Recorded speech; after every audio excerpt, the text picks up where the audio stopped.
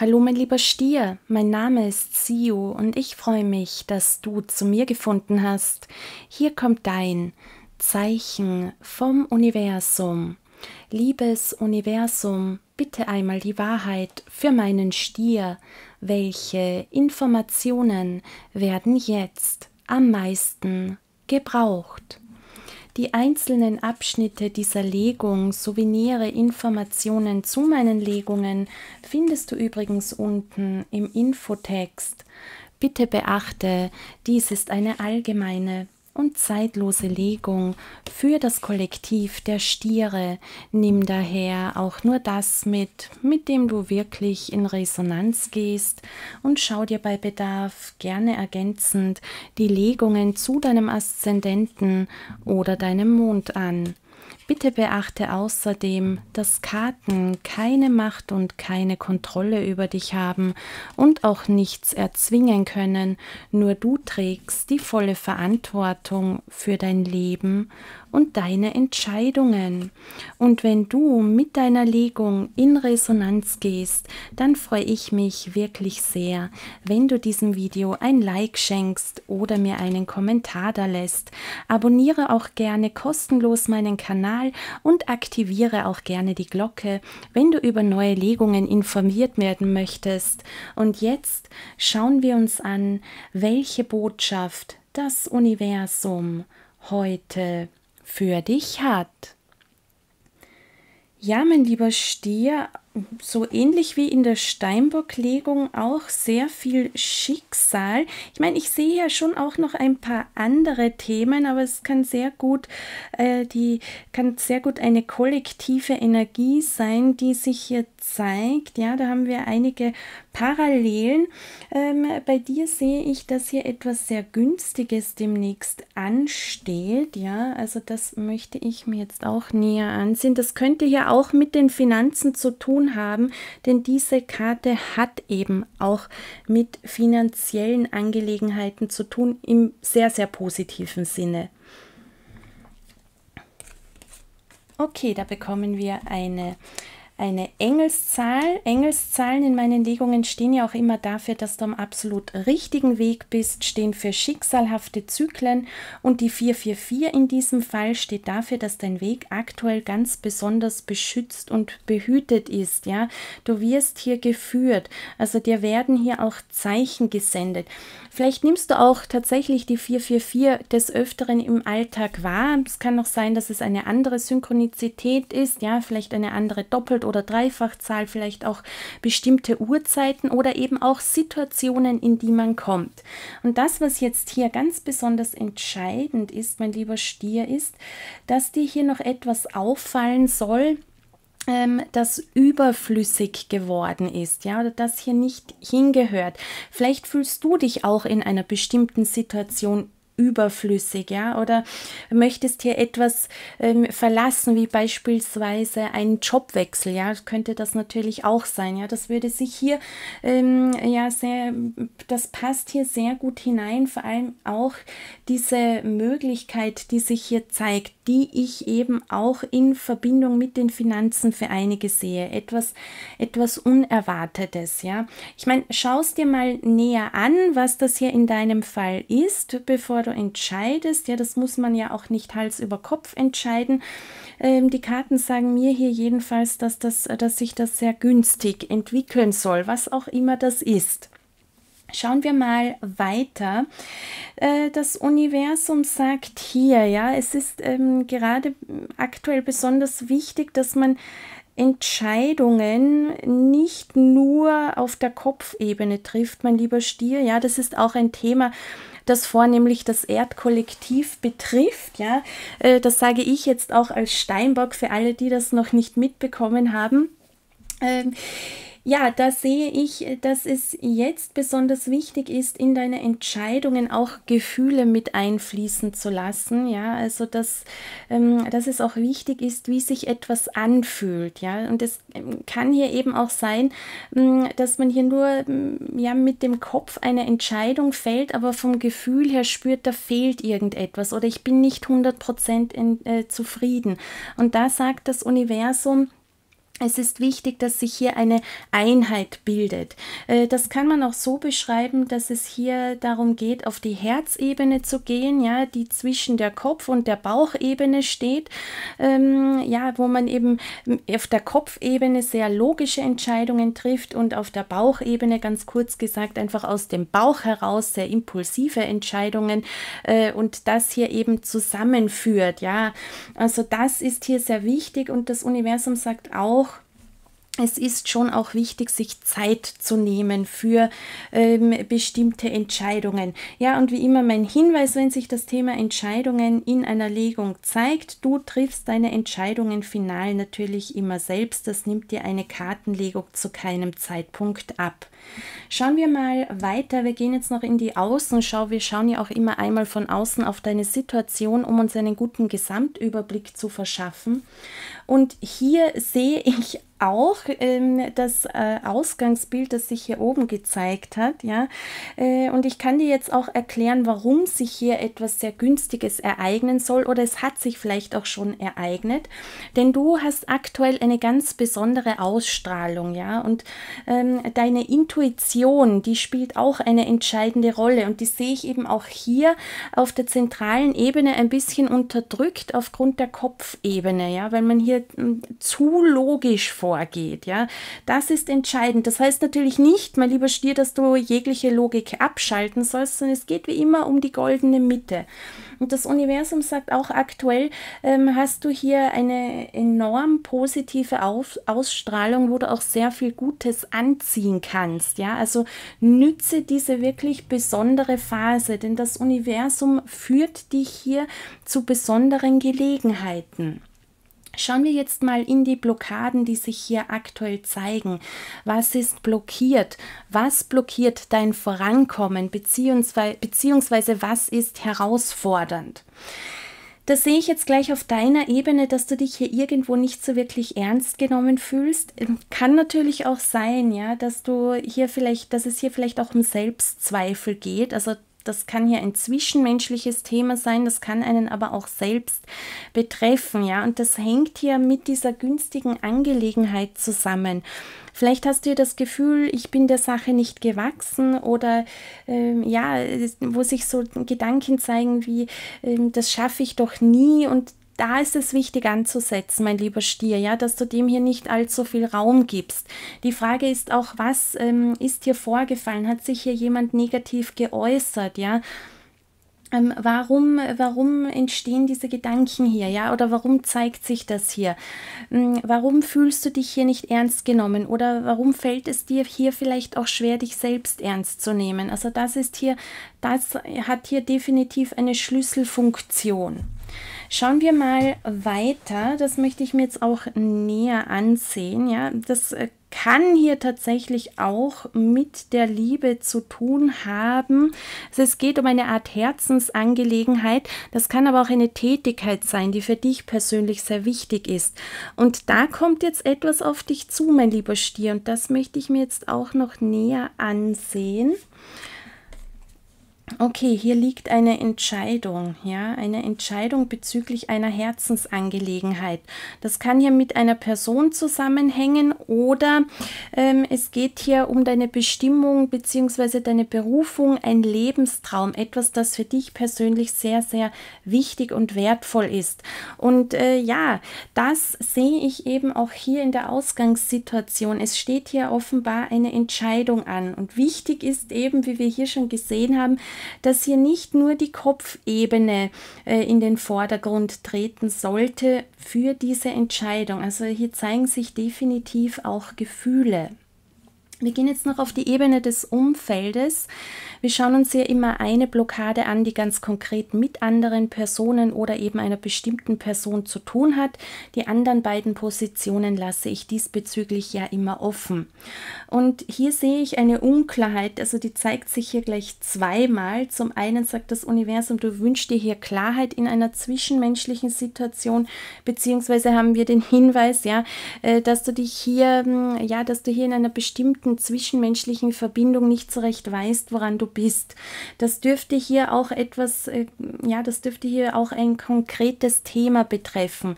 Ähm, vielleicht geht es ja auch äh, um Kopfkino, das könnte ich mir auch vorstellen, um hier noch ein Beispiel zu nennen. Ja, und das ist natürlich klar, wenn wir hier, ähm, ja, wenn sich hier etwas im Umfeld zeigt, dass das natürlich auf alle Lebensbereiche ausstrahlt, vor allem wenn dir diese Person hier sehr am Herzen liegt.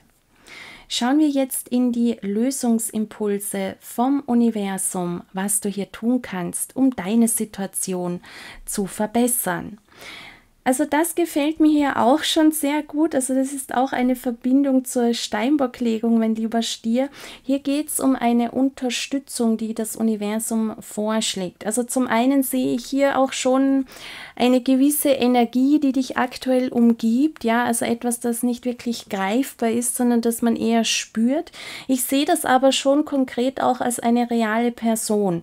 Ja, und da geht es eben auch um diese Blockade hier, die sich hier zeigt, wo ich hier einfach auch sehr starke Selbstzweifel ähm, wahrnehme oder wo du dich nicht ernst genommen fühlst oder dich dadurch vielleicht auch oder dadurch vielleicht auch aktuell Schwierigkeiten hast, ähm, dich selbst ernst zu nehmen, ja, ähm, beziehungsweise wo es hier eben um diese sehr, sehr schöne Entwicklung geht. Und das Universum sagt, dir kann hier jemand helfen, Du kannst dich hier mit einer bestimmten Person austauschen.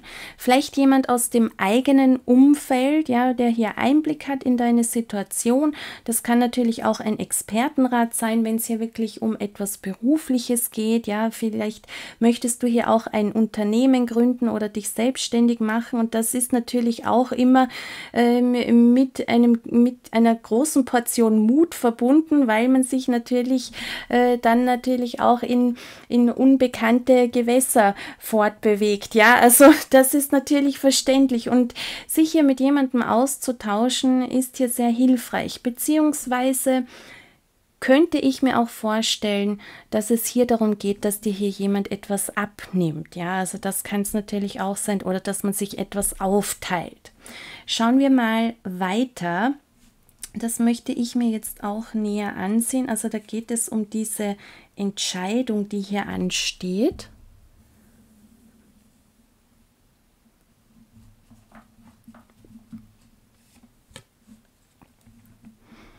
Okay, also zum einen sagt das Universum, es ist jetzt mal wichtig, dass du hier auf deine Bedürfnisse Acht gibst. Ja, das geht, da geht es aber also nicht von der Karte irritieren lassen. Also es geht hier auch um ein, ein gutes Mittelmaß und da sieht man auch, dass du dich jetzt längere Zeit hinten angestellt hast. Das ist schon mal wichtig ähm, zu erkennen. Und das Universum sagt ja auch, du bist am Anfang eines Weges.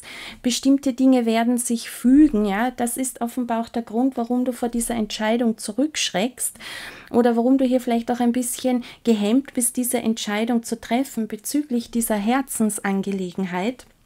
Und das Universum zeigt dir hier auch einen gewissen Plan, ja. Und ich sehe hier schon sehr stark ähm, eben auch deinen Lebenssinn vertreten. Und das Universum möchte dich hier auch beruhigen und hier auch sagen, bestimmte Dinge, die kommen erst auf dich zu, die können sich erst zeigen, wenn dieser Weg beschritten wird.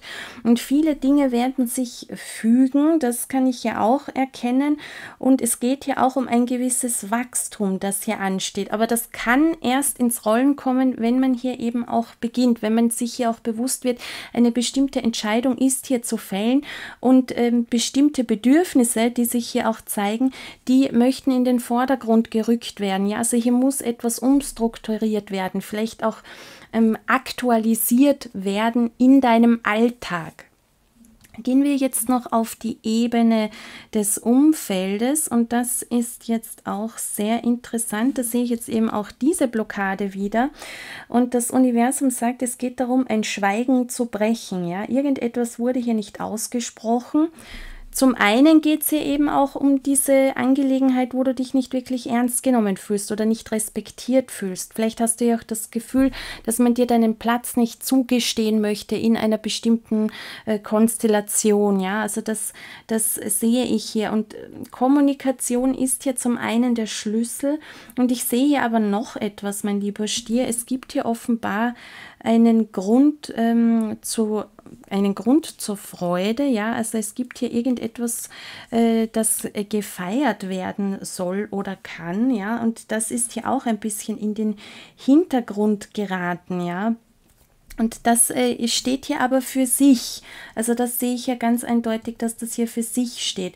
Das ähm, mit dem Schweigen brechen, ja, also das sehe ich ja auch in Verbindung mit dieser unklaren Situation. Also miteinander zu sprechen, das ist hier ganz besonders wichtig und das sehe ich hier schon auf beiden Ebenen, ja, also dass, äh, dass das hier ein wichtiges Thema ist. Vielleicht hat diese Person auch einfach etwas gesagt, ja, ähm, vor allem hier irgendetwas Verletzendes gesagt und ähm, hat das irgendwie vielleicht auch gar nicht mitbekommen, dass das verletzend ist. Also das kann natürlich auch vorkommen, ja, dass hier jemand einfach redet, ohne vorher nachzudenken, ja, das hat sich auch in der Steinbock-Legung gezeigt, also wirklich spannend, diese Parallelen.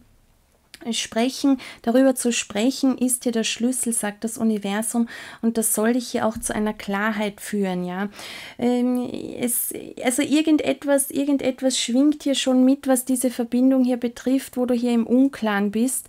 Vielleicht hast du hier auch die Sorge, was ist, wenn hier irgendetwas, ähm, ja, wenn hier, wenn sich hier irgendetwas Negatives zeigt, ja. Also das Universum sagt hier schon, dass ähm, ähm ja ein Gespräch hier, äh, dich hier in eine Klarheit bringt bringt, ja, und, und das Ganze dann natürlich auch ja nicht mehr so hm, bedrückend wirkt oder vielleicht auch für manche ein bisschen unheimlich wirken könnte, so wie ich mir das hier ansehe. Das weißt du natürlich besser, wie es sich hier für dich anfühlt.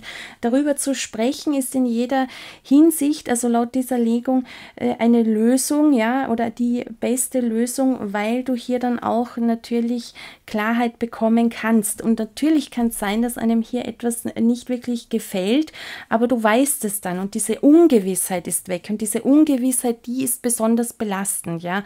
Also ich meine, ich sehe jetzt hier nicht, dass das hier nicht geklärt werden könnte. Das äh, liegt hier definitiv nicht, aber ich betrachte es immer gern aus mehreren Perspektiven.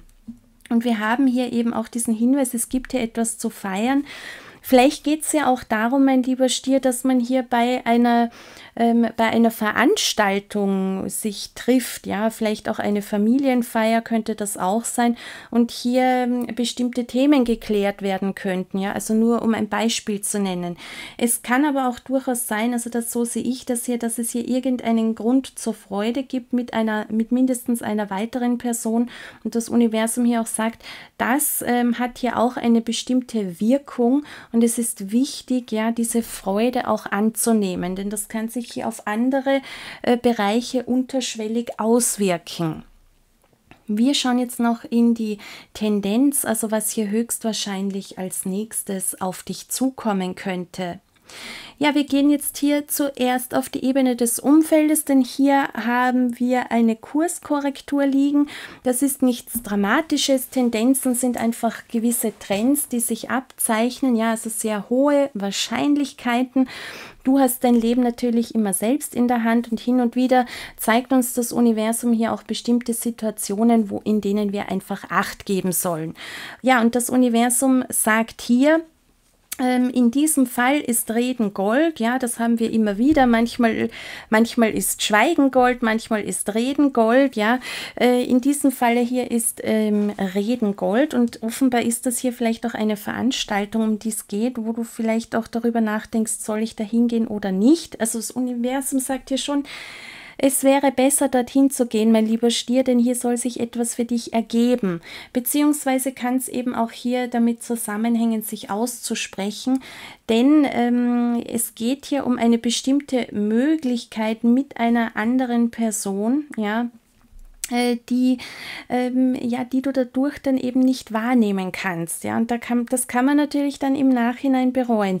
Und darauf möchte dich das Universum hier einfach vorbereiten. Das heißt jetzt aber nicht, ähm, wenn man diese Möglichkeit nicht wahrnimmt, äh, ja, dass dann hier nichts mehr geschieht oder nichts mehr nachkommt. Ich sehe hier einfach eine eine wichtige Sache, die hier für dich ansteht, ja, in Verbindung mit einer weiteren Person. Und ich sehe hier noch etwas auf dieser Person, äh, auf dieser Position. Das ist hier allerdings, das ist hier aber keine Kurskorrektur, denn hier geht es eben auch darum, dass hier ein Ballast losgelassen wird, ja, und das sind hier eindeutig diese Themen, die hier besprochen werden sollen. Also ich sehe hier auch eine Erleichterung. Schauen wir mal weiter. Wir gehen jetzt hier auf deine Ebene. Und das Universum sagt, ja, Unterstützung kann dich hier, wirklich weiterbringen, vielleicht auch eine Art Entlastung oder dass man sich hier abspricht, ja, bei bestimmten Tätigkeiten. Denn hier liegt eine, eine sehr, sehr schöne Phase, die auf dich zukommen soll, die auch länger anhalten soll, ja. Irgendetwas soll sich hier sehr günstig entwickeln und das hat hier mit dieser glücklichen Fügung des Schicksals zu tun. Also eben tendenziell vielleicht auch die Berufung, die Bestimmung oder vielleicht etwas Berufliches, ähm, das hier in die Wege geleitet werden soll, vielleicht auch veröffentlicht werden soll.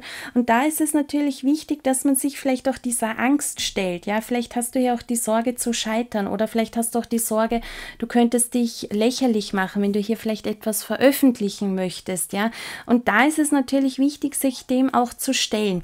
Und da sagt das Universum, eine bestimmte Person kann dir hier eben helfen, eine gewisse Sicherheit zu erlangen erlangen, ja, hier auch selbst äh, hier, hier auch selbstsicherer zu werden, ja, denn wenn das, also ich nehme an, es geht hier um diese Herzensangelegenheit, mein lieber Stier, äh, und da kann es natürlich sein, dass man das so lange hinauszögert, dass es dann tatsächlich irgendwann zu spät ist. Betonung auf irgendwann, das sehe ich jetzt hier in dieser Legung nicht, mein lieber Stier. Ja, ich sehe hier einfach auch eine gewisse Hemmschwelle. Und ähm, also so von der Tendenz her bewegst du dich hier in eine sehr sehr, günstige Richtung. Und hier ganz zentral haben wir einen Wendepunkt liegen. Ja, etwas soll sich hier verbessern. Das hängt natürlich wie immer mit deinem Tun zusammen. Das hängt hier mit dieser Entscheidung zusammen. Ist die Entscheidung gefällt und man geht in die Umsetzung, ja, dann zeigt sich dieser Wendepunkt hier sehr, sehr rasch. Und hier geht es auch um eine dauerhafte Verbesserung deiner Situation. Und das hängt hier, also das, das äh, hängt hier definitiv zusammen. Das kann man hier auch sehr gut zusammenfassen. Ja? Also ein Wendepunkt zum Positiven, der ist schon sehr, sehr greifbar, mein lieber Stier. Wir kommen jetzt zum Abschlussritual und wenn du mit dieser Legung in Resonanz gegangen bist, dann freue ich mich wie immer sehr über dein Like oder einen Kommentar. Denk auch daran, meinen Kanal zu abonnieren, wenn du das noch nicht gemacht hast und aktiviere auch sehr gerne die Glocke, wenn du benachrichtigt werden möchtest, wenn ich neue Legungen veröffentliche. Ich meinerseits wünsche dir von Herzen nur das Allerbeste. Ich glaube an dich, glaub an dich, möge sich der Knoten lösen. Vielen Dank für dein Vertrauen.